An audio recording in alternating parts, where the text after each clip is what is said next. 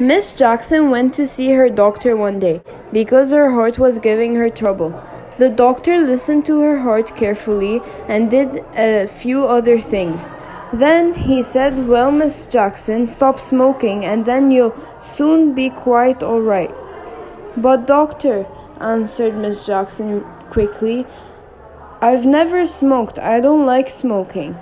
Oh, well, said the doctor, then don't drink men- any alcohol.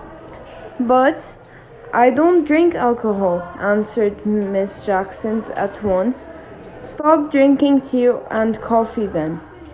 The doctor said to her, I only drink water, answered Miss Jackson. I don't like tea or coffee.